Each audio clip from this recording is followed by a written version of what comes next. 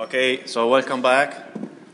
Uh, it's a pleasure to, to invite Corinna Ulcigrai, who will talk about Veech group, cutting sequence, and Lagrange spectra. Before, before the, the starting of the talk, let me remind you that the, on the web page there is a Google Doc document where everybody can write, I think, as far as I understand, whatever they want, but it should be focused on the, the, the way to, to escape from here. So uh, uh, on Saturday, maybe also about tomorrow. So okay, so, so that people can gather together and share some taxi and somehow. Okay, so thank you. Okay, so first of all, I would like to thank the organizers of the conference for the invitation to be here. Is, it, uh, is the microphone working? Am I loud enough? Should I speak? Okay. So I'm actually, as some of you know, I'm actually originally from Trieste.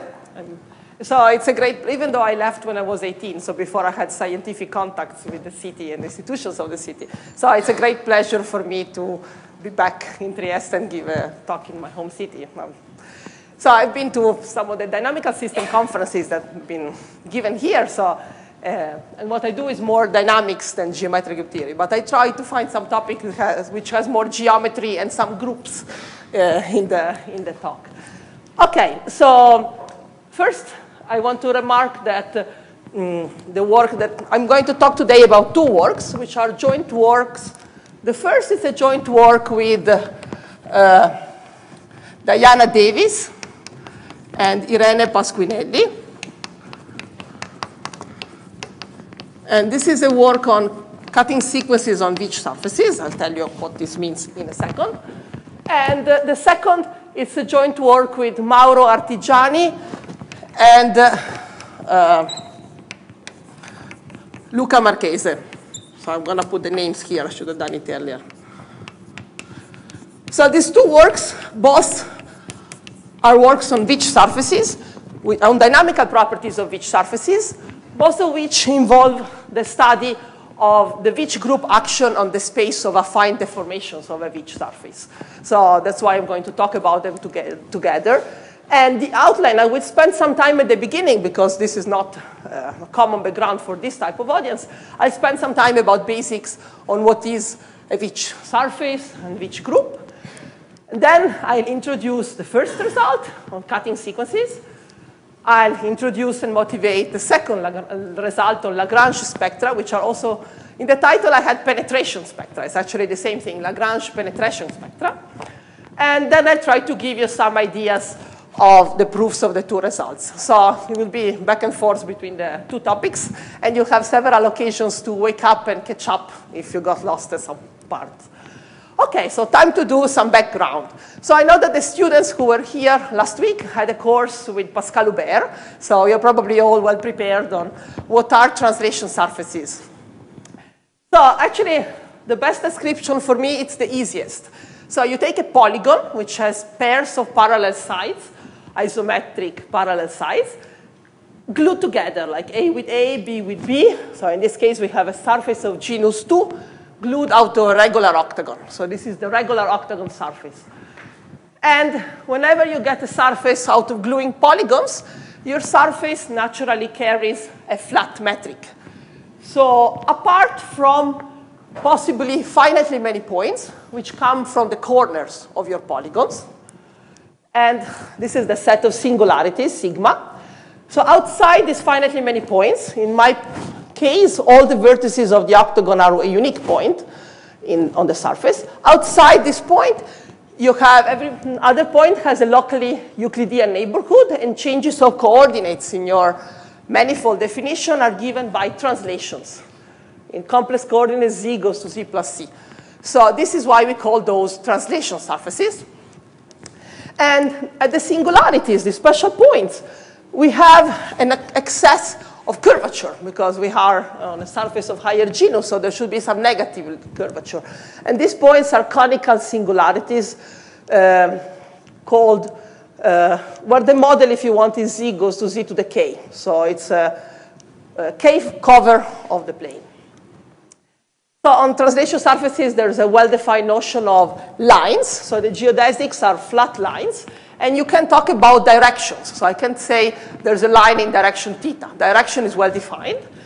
Apart from the singular point. At the singularity, so what's happening? Am I too far? Yes.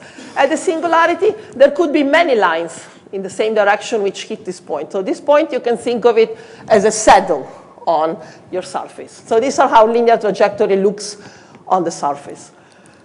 And again, we are thinking of surfaces, not polygons.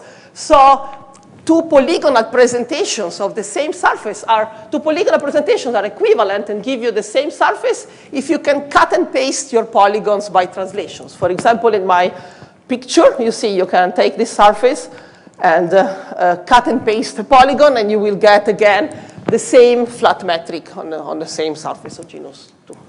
Okay? Okay. So if we have two translation surfaces, we can look at affine diffeomorphisms among them. Okay, maybe I should have said an affine, it's a, um, I, I missed something. It's a um, continuous map. It's a homeomorphism which actually maps singularities to singularities. And it's affine in each chart. So it's a linear, has a linear part plus constants. And the linear part is independent on the point. And I can look at self-affine maps from a surface to itself. These are affine automorphisms of S. And the group, this is a group of affine automorphisms. And the Veech group, I'm too far.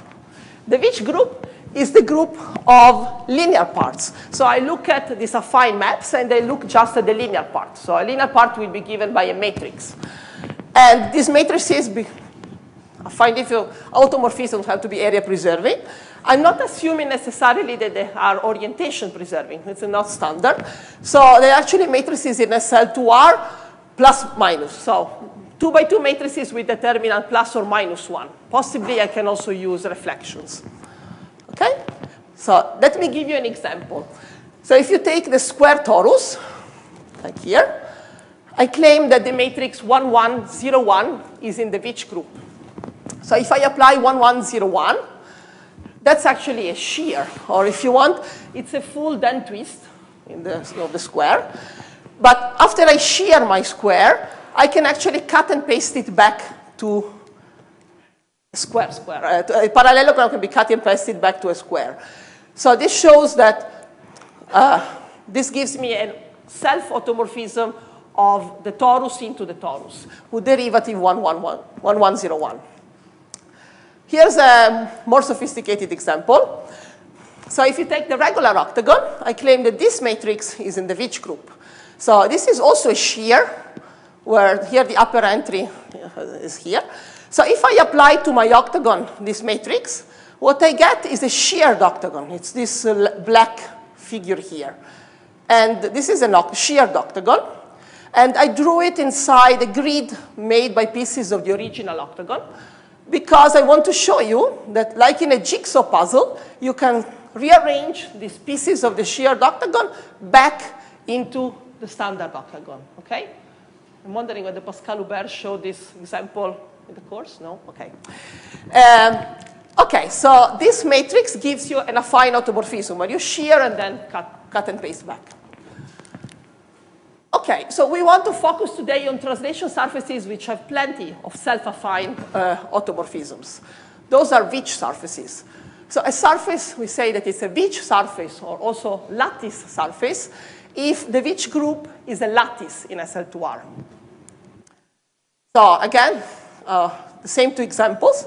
If you take the torus, you can add to this, you can either add the other uh, twi Dehn twist, vertical Dehn twist, 1011, or this is actually a rotation, and you get the full SL2Z, which is a lattice in SL2R. And for the octagon, uh, you can take, for example, you can take, here I took two, uh, uh, I like these reflections which are determinant one. This is a horizontal reflection, this is a slanted reflection. So all isometries of your polygon will in particular give you affine self-automorphisms, right? So I can put isomet isometries in, and then I can put this non-trivial element that we saw together, and this will generate a lattice in SL2Z. So regular, regular octagon surface is a Veech surface. And this one. So this is a little bit of introduction because motivate people. People have, in Teichmuller dynamics, are very interested in Veech surfaces because they are interesting from the dynamical point of view. They satisfy a dichotomy that all trajectories are either, by infinite trajectories, are either periodic or dense and uniformly distributed. I don't want to spend time. This is just a motivation. And also, if you look at the SL2R action, they generate closed orbits known as Teichmuller curves. I'll tell you more later on in the proof part. And um, people have tried to list, classify Veech surfaces. So we saw that the square and the octagon, and more in general, any regular polygon will give you a Veech surface. And this is a seminal paper by Veech where he defined Veech groups and discovered Veech surfaces. There are some examples which were found by Ward. And then, a little bit more than 10 years ago, there were two infinite families of Veech surfaces which were discovered, um, one by Bouw and Möller, by Bouw and Möller. This is the Bouw-Möller family. And another family was discovered independently by Calta and McMullen. It's a family of L-shaped Veech surfaces in genus 2. And the Bouw-Möller surfaces, I will focus on them today, so I will tell you more about them. And then uh, Mukamel gave a talk on Tuesday here. I think he didn't say, he talked about the Gothic locus. And in the Gothic locus, there are infinitely many new Veech surfaces, which have a cathedral shape. And there's lots of research and people working on proving that there are finitely many with fixed complexity, genus and singularities. And okay, there's a whole research. So as I said, apart from uh, these classical examples, uh, uh, the Bouw-Möller surfaces have, are kind of, um, have Veech groups which are triangle groups, while this L-shaped family of surfaces have more complicated Veech groups that actually Mukamel has studied, I guess, uh, Ronen has studied. So I want to focus on the Bouw-Möller. Uh, after, poly, after regular polygons, they are the nicest kind of family. And they are obtained by gluing a collection of polygons which are semi-regular. So this is a, all these polygons together, glued according to the numbering that you see, one with one, six with six. This is one surface, and this is another surface. And this, uh, let me first say that this is um, Pat Hooper polygonal presentation. So Hooper discovered this simple polygonal presentation of these uh, Veech surfaces. So first of all, Veech surfaces uh, sorry, Bouw-Möller surfaces are parameterized by two indices, M and N. So the SMN surface, the MN Bouw-Möller surface, is made by M semi-regular polygons, each of which has a symmetry of order 2n. So look here. So this is S43. So there are four polygons which have order 6 symmetry. So these are semi-regular hexagons. So the angles are equal, but the sides come in two lengths. And these are triangles, but they have still order 6 symmetry. Oh, no, order 3. I think I said it wrong. OK, sorry. Uh, maybe I should have said 3. OK. Uh, and this is S34, where there are three polygons with order 4 symmetry. And you have to pick the lengths specifically, so they are not any two semi-regular. You have to pick them carefully because you want the surfaces to have a global shear, like the one in the octagon that I showed you before.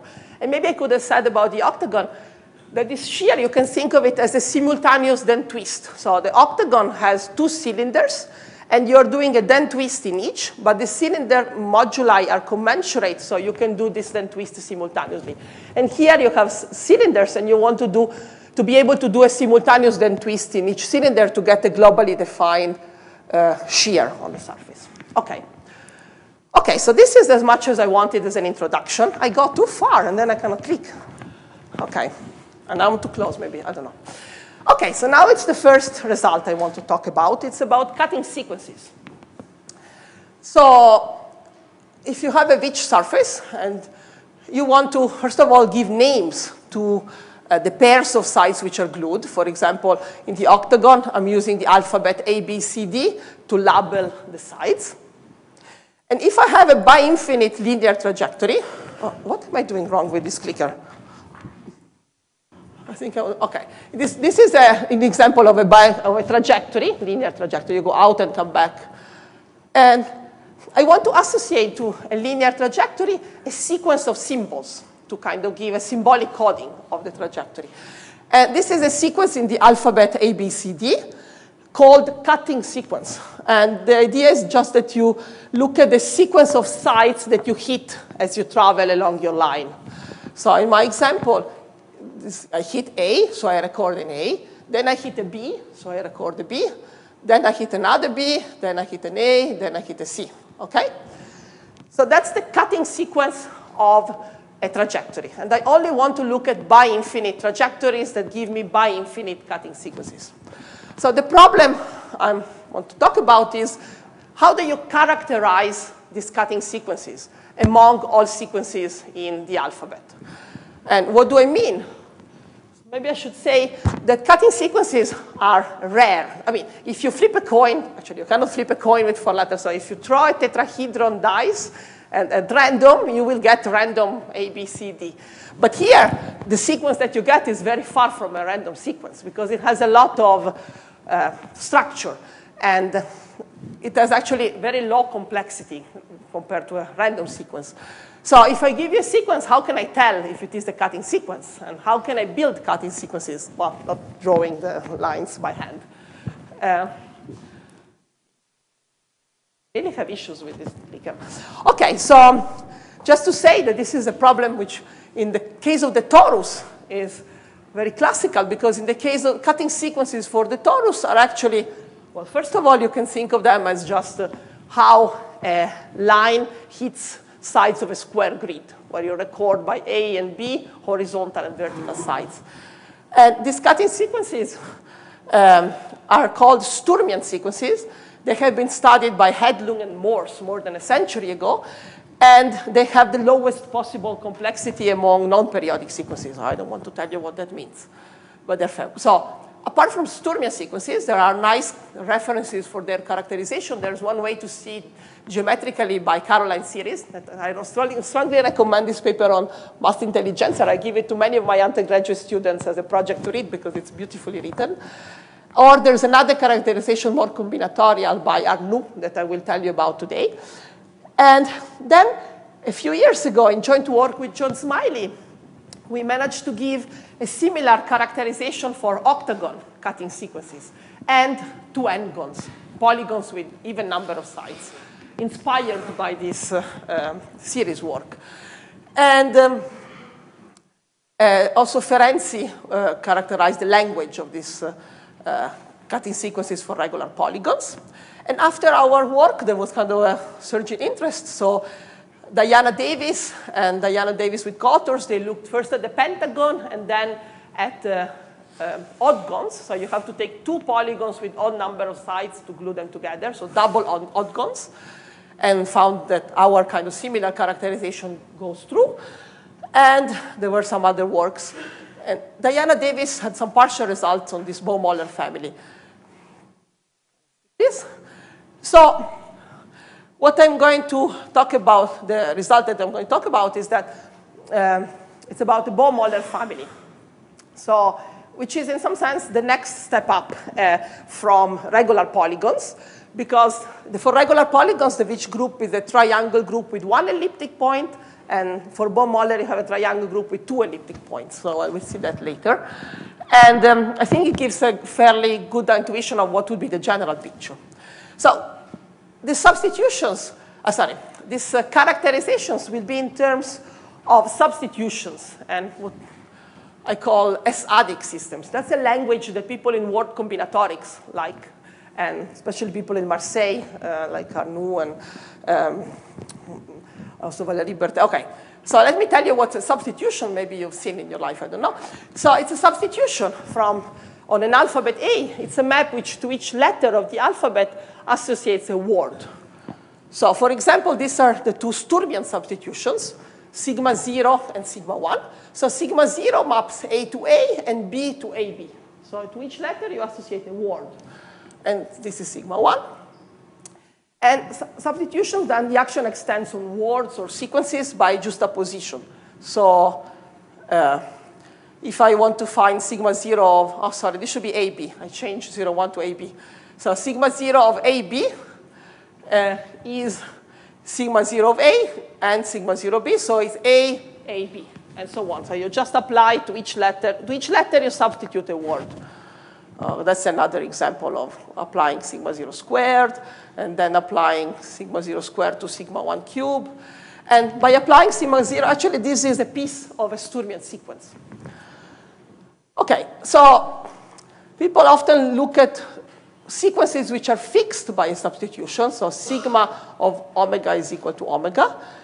But if you have a word which is a fixed point of a substitution, you can actually produce it as a limit by taking some letters. You have to choose the initial letter suitably and applying the substitution many, many times. So as you apply the substitution more and more times, you get longer and longer blocks, sigma to the n of L. And you can imagine if these longer and longer blocks stabilize and converge, the limit sequence, you, uh, you, they, they, can converge towards the limit. And you call this kind of the. Is that uh, ah?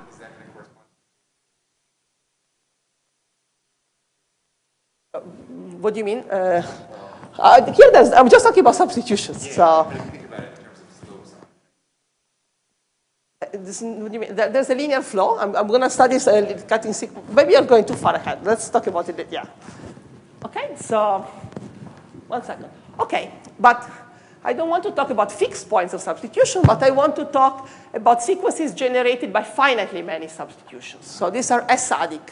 So S, I take S to be a finite set of substitutions, and then look at products of these finitely many substitutions. So you can look at limits where I take some pick from this set substitutions and apply them. And then I get longer and longer blocks. Okay, I can apply however I want my substitutions. And if I get something which stabilizes, and actually I do if you grow your sequences towards the middle, so you the, you will get sequences which actually stabilize and converge with, towards the limit.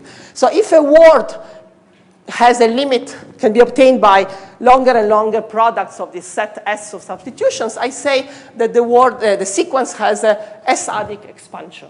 Okay, so S-adic expansion. So Sturmian sequences can be characterized by S-adic expansions. So a word is a Sturmian word, or it's a cutting sequence of the square. Actually, I should say it's in the closure. So we always characterize the closure of the set of cutting sequences if there exists a sequence of integers such that uh, the, the, the word, the infinite sequence can be obtained, it has an S-adic expansion. And here I'm alternating sigma 0 and sigma 1. Sigma 0 and sigma 1 are the Sturmian substitutions that I showed you before. And I alternate, first I apply sigma 0 A0 times, sigma 1 A1 time, then again sigma 0 A2 times, and so on. And actually, this is if I can write every sequence as a, with an S-adic expansion, I say that uh, this is an S-adic characterization. And I should say this word S-adic was uh, due to Ferenczi, and it reminds of Vershik adic maps. And this AK actually have a meaning dynamically. They turn out to be the continued fraction entries of the slope of your line in the plane. So they have a, and they can, they can recognize them combinatorially. Okay, so this is the type of characterizations I'm going to look for. And as I said, the first main result is about uh, Bouw-Möller cutting sequences.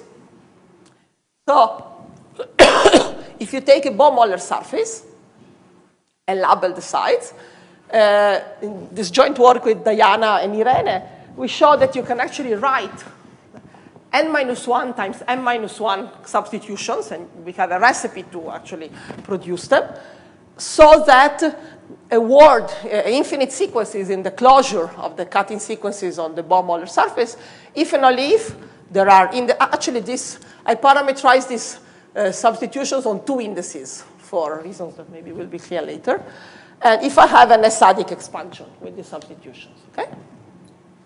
So this is an S-adic characterization, and you can use it to, build, to actually have a recognition algorithm to know if a finite block is actually a part of a cutting sequence or not.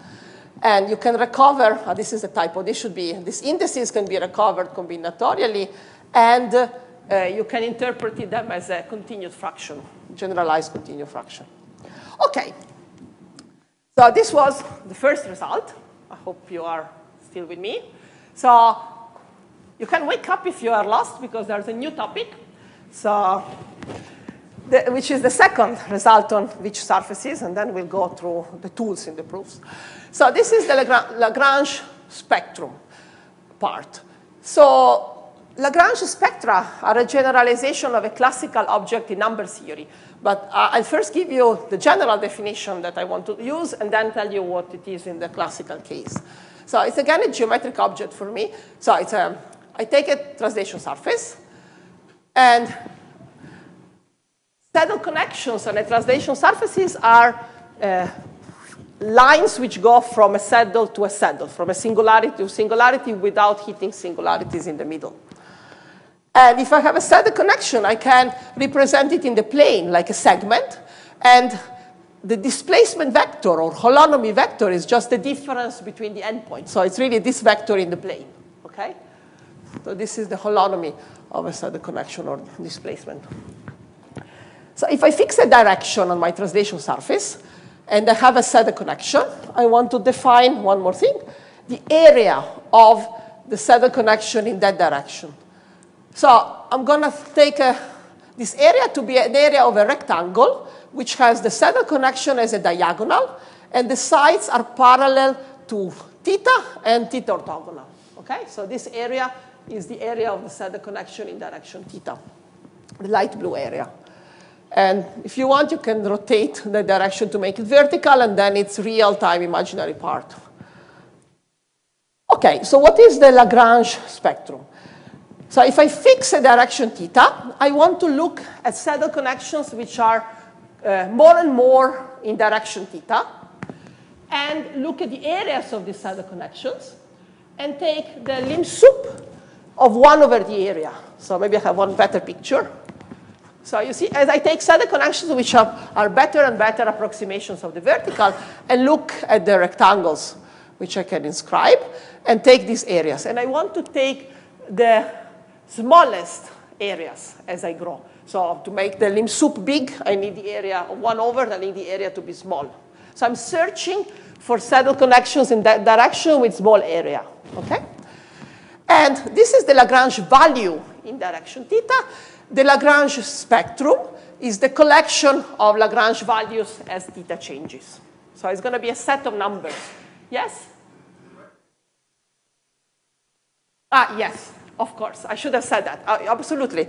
So these rectangles, when I draw a rectangle, I mean, and um, so there are no, it's actually flat rectangle, so there are no other singularities in, but actually, okay. Actually, maybe you don't need to require it here, but in reality, the saddle connection which minimize the area are the one which come with an embedded. Well, okay, no, but let's say so. It's uh, yeah.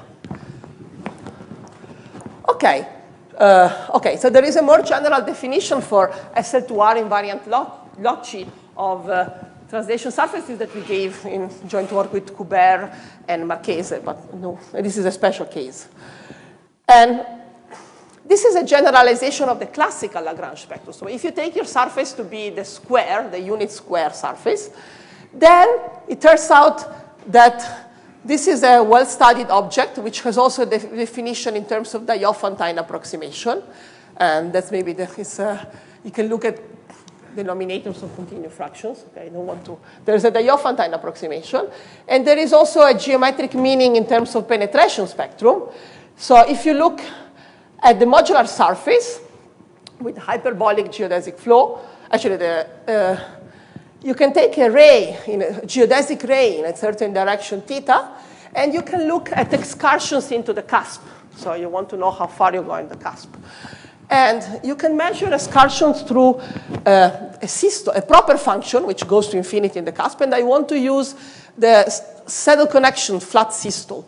So this is the shortest length of a flat length of a saddle connection on the torus. And what uh, these values can also be computed as the lim sup of 2 over systole squared along my Teichmuller ray. So I look at 2 over systole squared. So remark actually now that a typical geodesic will go arbitrarily far in the cusp. So the systole will go to 0. And this number will go to infinity. So this value is actually infinity for a typical geodesic. The only geodesics for which it's finite are bounded geodesics or closed geodesics. So closed geodesics stay at a fixed height in the cusp. And then what you're measuring is the maximal asymptotic excursion. So you're kind of measuring the diameter of uh, the limit set of your geodesic. So this is why this spectrum is called the penetration spectrum. Okay, this is, if you didn't get it, it's okay. It's just a motivation about the classical case. So what is known about the classical spectrum? This classical Lagrange spectrum had been studied for more than a century. So we said it's a subset of real line union infinity, and for most values it's actually infinity. But uh, people, I mean, okay, it's closed, and it's the closure of quadratic irrationals, which correspond to closed geodesics on the modular surface. And the minimum, it's square root of 5. It's uh, uh, called Hurwitz constant. So there is a minimum. It's my blue dot to the left in my line. That's my li real line. Minimum is there. And the beginning, up to 3, there are discrete values. So those are called Markov numbers. Then, the, that's what I want to care about today. From some point on, this Lagrange spectrum contains a full interval. So from a value, the, actually the best value is the Freiman constant. From here on, the full uh, semi-line is contained in the Lagrange spectrum. And what about in between the discrete part and the interval? The, this interval is called Hall ray. And in between, the structure is quite complicated. It's like a Cantor-like structure. And there are recent results by Moreira on the Hausdorff dimension. Okay, so this is the picture of the classical Markov spectrum. Discrete beginning, Hall ray, and complicated middle. So there were many generalizations of Lagrange spectra to Fuchsian, other Fuchsian groups, higher dimensional, hyperbolic, uh, manifolds, Bianchi groups by many people. And for translation surfaces, some properties we proved in this first paper with Hubert and Marchese. And for example, the Hurwitz constant was recently announced by Boshernitzan and Delecroix. So what I want to prove, talk about today is uh, the Hall ray. So what we proved with Mauro Artigiani and Luca Marchese is that this Hall ray phenomenon persists for any Veech surface. So take any Veech surface, look at the Lagrange spectrum, then the Lagrange spectrum of any Veech surface will contain a half ray. So there will be an R from which all values are uh, achieved. Okay? So like this. Actually, the proof uses Veech groups and arguments by Hall and symbolic coding like continued fraction. But I, I hope to get there a little bit later. Okay, so now I finished the statements part. So we have a result about cutting sequences on Veech surfaces, especially Bouw-Möller surfaces and a result about Lagrange spectra. Okay? So now I want to give you some tools from the proofs. Any questions now? Yes? Ah?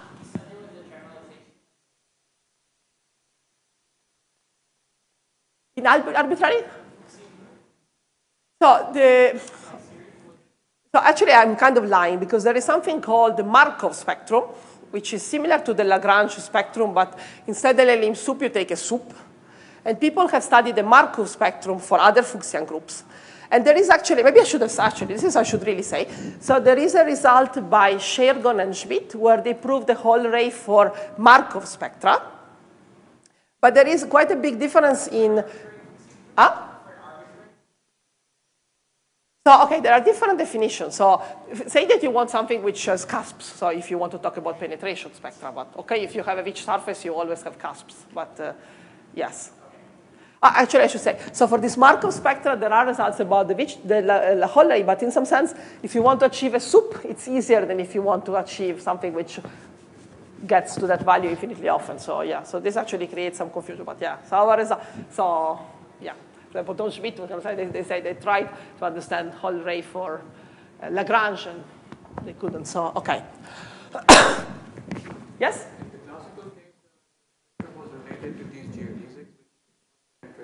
Yes, so this is true also here. So we are also talking about penetration spectra on, okay, you'll see which, on, on what? On the Teichmuller curve.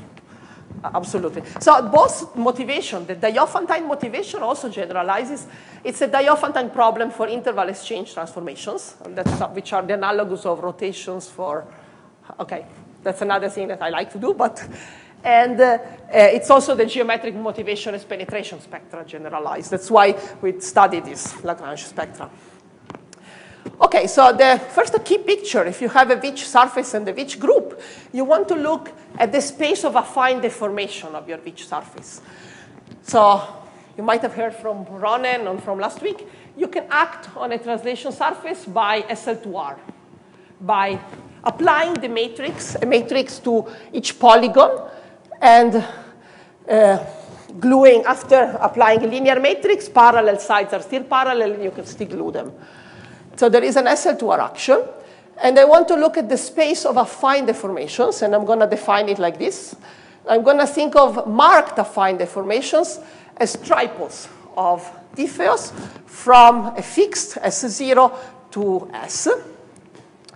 And I'm going to say that two tripoles, two marked tripoles are equivalent if I can find a translation equivalence, which makes this diagram commute. And something is wrong here. OK, it doesn't matter. OK, so the space of marked affine deformation is actually isomorphic to SL2. And uh, SL2 is like the unit tangent bundle of the unit disk. So you can picture yourself this disk, the unit tangent bundle of this disk, as all possible affine deformation, marked affine deformations of the surface. You can actually place uh, the standard tripole, your surface, you can think of it as the center of the disk. And as you apply a matrix in SL2R, you move on the disk.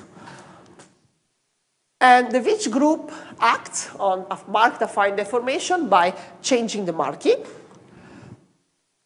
And it, and it acts actually on the disk by Möbius transformations. And you can take the quotient of uh, this uh, disk by the action of the Veech group. And this is an example of a tessellation of the disk, where the fundamental domain is the Veech group. And the quotient is the space of affine deformations. And this quotient will be a the unit tangent bundle of a hyperbolic surface with cusps. And this hyperbolic surface with cusp is the Teichmuller curve associated to your Veech surface. Okay? So I want to think of Teichmuller curves as space of affine deformations of a Veech surface. And remark, this is not the case if I take a random translation surface, then the space of affine deformation will be much larger. It will be the whole, um, the closure will be, the closure will be typically the whole modular space, but this is true for Veech. Okay, so this picture will be useful, and I want to do some kind of, uh, use the action of the Veech group on this disk to understand my uh, dynamical properties. So I want to explain some ideas from how you characterize cutting sequences first. So the first three slides will not have the disk, but then I will show you the disk, how it enters into play. And I'm going to do a simplification. I, as I said, the result I want to talk about is Bouw-Möller classification, characterization. But I want to tell you first some ideas from the octagon case, from our work with Smillie, which are easier. And then I will tell you the difference and novelty in the Bouw-Möller case. Okay, again, you can start listening from here if you are lost for now. So, so if I give you this octagon, so I'll talk about the octagon and then explain the difference with Bouw-Möller. So let's go back to the regular octagon and to cutting sequences on the regular octagon. So first, using isometries of the regular octagon, I can assume that the linear trajectory I want to study has slope in the sector 0 pi over 8. So this is this blue sector, right? I can always apply an isometry and bring it back there. So first I want to do an elementary observation that there are clear restrictions of what a cutting sequence can do. So I want to look at possible pairs of letters or transitions. So which pairs of letters can follow each other, given that my trajectory has a slope close to horizontal. For example, if my trajectory hits the side A and has slope in this sector, it's bound to hit D after A. So it cannot go anywhere else than D. So from A, I can only see D. But if I hit this from the side D, I have a choice. I, depends on how I come and what my slope is. I could either hit A or I could hit B. So from D, I can go to A or to B. Those are both allowed transitions. And similarly, you can record which other um, restrictions there are, and you get a little diagram, which I call transition diagram. And by elementary geometric restriction, if I have a cutting sequence, it has to give me an infinite path on this diagram, okay? Because it's forced to, of course, that's far from being a characterization, but it's a first necessary condition. And the idea is that renormalization allows you to multiply this condition on different scales. What's going to happen? So first you have to do your exercise. If you have other sectors, you can get just permutations of the same diagram. So these are all diagrams which correspond to the eight possible sectors. The other half is symmetric, so I don't need to care about it.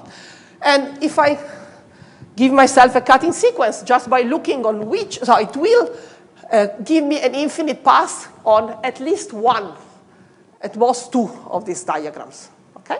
So you can kind of recognize the sector already by just this elementary observation. Then there is a non-trivial operation. So I want to say a combinatorial operation which is called derivation. And derivation will be an anti-substitution. So you remember, a substitution grows the, num the, the length of words. Derivation will shrink the length of word. And we will find substitutions as anti-derivations. So if I have a cutting sequence on the octagon, I can say, I want to say that the derived sequence consists of the sequence of sandwich letters. What are sandwich letters? So sandwich letters are letters preceded and followed by the same letter. So here A is sandwiched between Ds. B is sandwiched between C's. And I can run through my sequence and search for sandwich letters and keep only those. So the, the right sequence consists of only the sandwich letters in my sequence. It's a short, well, shorter. It reduces length of finite blocks. And so in Smillie, we show that the derived sequence is again a cutting sequence. If I start from a cutting sequence, the derived sequence is a cutting sequence. So it has to be admissible on one of the diagrams.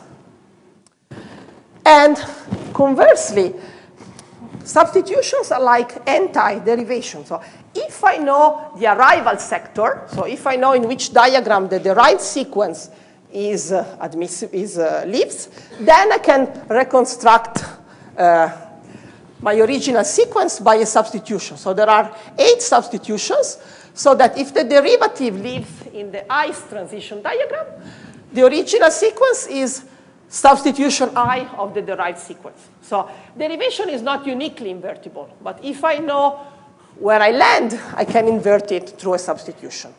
Okay, that's the key step uh, that I want to bring forward work for octagons, and they're not really substitution, they're actually substitution on transitions. So you can think of them as, uh, you have to change alphabet if you want to really call them substitution, and in our first paper we don't talk about substitution. You can think of them as morphism of the transition diagram. So uh, an arrow is mapped to a sequence of arrows. So this combinatorial operation of derivation is nothing else than the symbolic effect of an affine automorphism. Actually, of the affine automorphism that we saw before, that stretches the octagon. So this is a geometric meaning of derivation. You remember this matrix that we saw that sends the octagon in a sheared octagon? So the claim is that to see that the right sequences of cutting sequences are cutting sequences, you, you can prove that if I take a cutting sequence in this basic sector, the derived sequence is the cutting sequence of the same trajectory with respect to the sides of the sheared octagon. So the sheared octagon will hit my sequence less often. And the sandwich letters are exactly the ones which hit the sides of the sheared octagon. And then, if I want to renormalize, if I apply my affine diffeo, which sends the sheared octagon back to the octagon, I change the slope of my trajectory, but I still have the, the, the right sequence is the cutting sequence of a new trajectory on the regular octagon. Okay, so I can then repeat my procedure. Fine. Now it's time to see uh, the, the disk picture. So this is the disk, Teichmüller disk of the octagon. So the center is the octagon, which is the symmetry of order 8. And this is the fundamental domain, for the tessellation given by the Veech group of the octagon. It's, it's an ideal tessellation in ideal octagons. And all the red vertices, which have order 8 symmetries, are sheared octagons. So they are cut and paste equivalent to uh, the center, to the regular octagon. So you can think of them as sheared octagons. And if you choose as generators of the Veech group, I choose generators of isometries times this gamma, this shear, basic shear. And this is, these are the Cayley graph, and I want to, this is the tree of moves that I want to use. So here I can do use reflections or rotations in the dihedral group, and to move along a segment, I use my gamma or conjugate of gamma. So the, from the center, these are the possible moves I can do.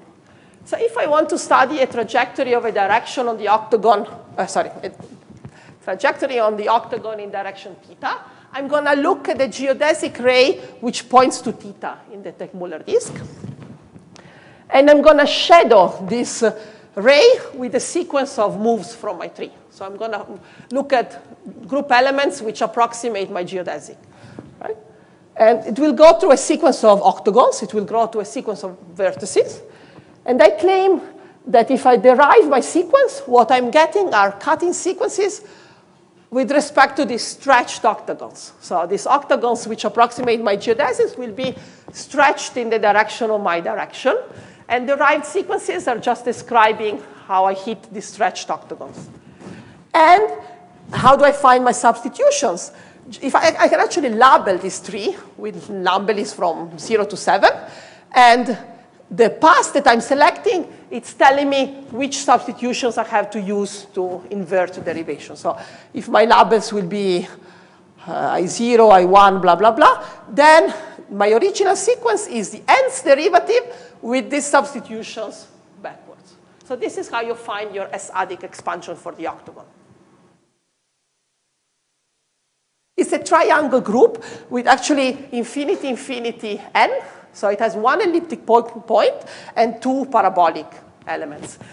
Thanks for this question, because now what is the difference with Bouw-Möller? Well, Bouw-Möller has, again, a triangle group, but it has two elliptical elements. So SMN has two elliptic points. It's a Mn infinity triangle group. So it has one parabolic point and two points of order m and order n. So indeed, that's the, uh, why it's kind of harder than the uh, square. And actually, what are the green vertices? The green vertices are, say, the 3, 4. In my picture, they are the 3, 4 uh, surface, which has order 4 symmetry. And what are the red vertices in this disk? Actually, it turns out that on the same disk, there are also copy, affine copies of the 4 tree. So on the MN disk, there are also the NM. So these kind of surfaces are coupled. And the red vertices are affine copies or cut and pasted copies of uh, the 4 tree surface. So the key idea is that this time to use renormalization, we are not going to use Veech group elements because actually Diana tried to describe Veech group elements and she couldn't get. So they're kind of hard to describe. So the idea is to break your task into simpler moves that are not made by Veech group elements. But I want to go, I want to use this tree of renormalization, which goes from a green vertex to a red vertex. So this is not a Veech group element will go from green to green. So how do I go from green to red? Well, I want to go from an MN surface to an MNM surface. So, by the way, sorry, this is octagon and two squares, and this is hexagon and two triangles. And if you shear them a little bit, this is octagon and two squares, so it's S and M, and this is hexagons and two triangles, MN. So how do you go from one to another? So Hooper uh, proved that there is an affine diffeo from one to another. So let me show you one cartoon movie. You can straighten this picture, change diagonals from red to green in this uh, rectangular grid, cut and paste some triangles to get the rocket. This is the rocket formation. And shear it to get back that. So that's how you go from one to another. And you see, what you have to understand, it's a flip of diagonals. So this is the last slide I have on Bouw-Möller, uh, not the last, the one before the last, sorry. So what do we do? We also define derivation combinatorially. I'm not going to tell you what the derivation looks like combinatorially, but our derivation goes in two steps. I want to go from mn to nm and back. So first time I derive, I'm going to send a cutting sequence of a trajectory here to a cutting sequence of a trajectory there. So derivation will map cutting sequences here to cutting sequences there. And it comes from with the recipe for substitutions. So it, if I know where the arrival, uh, the sector where the arrival direction is, and I can recover this combinatorially from transition diagrams, like I did before, then I can also invert and write down explicit substitutions. And we give recipe to produce substitutions for every MN. I can find substitutions to go back. And substitution in quotation marks because, okay, uh, technical details. So what's the picture on the disk? This is the last picture, and then I have only two slides on, on Hall. Okay, so that's the picture of the disk. So let me remember, green vertices are one surface, and red are the other surface. This is my trio moves. I want to study a trajectory in direction theta. I'm going to look at a ray, geodesic ray, going to theta. And I'm going to select a path in my tree which approximate my geodesic. This will give me the renormalization moves I have to do. And again, like before, I can interpret these combinatorial derivatives as cutting sequences of the same trajectory to these sheared polygonal presentations. And here the polygonal presentations for M and odd, so K. For K odd, they will be the formation of one surface. For K even, there will be the formation of the other surface. I always jump from one type to another type. And again, you can label this graph. We explain how to do that, and use the labeling of this graph to read off which substitutions you want to use. And if you like, you can interpret the action of these trio moves on the boundary as a continued fraction on directions. And this uh, substitutions you need to use are governed by the symbolic, by the entries of this generalized continuous fraction for Bouw-Möller. Ah?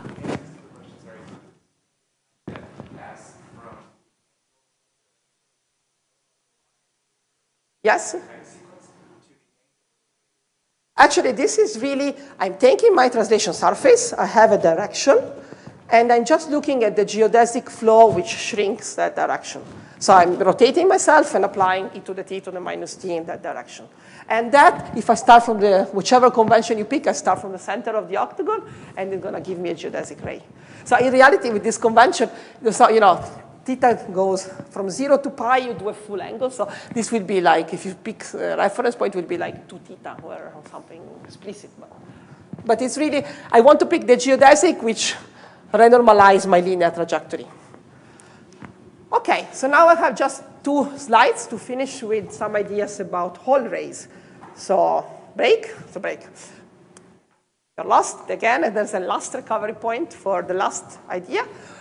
So again, here we want to work with the Teichmüller disk of renormalization moves. And we want to show, I will remind you what a Lagrange spectrum is because you will have forgotten. So I take any Veech surface here. So I don't know the Veech group. I can take a fundamental domain for the Veech group. But we saw before that it was very nice to have uh, ideal tessellations. So what I'm going to do, if there are elliptic points, I'm going to look, unfold the elliptic points, and look at the super tessellation, which is ideal.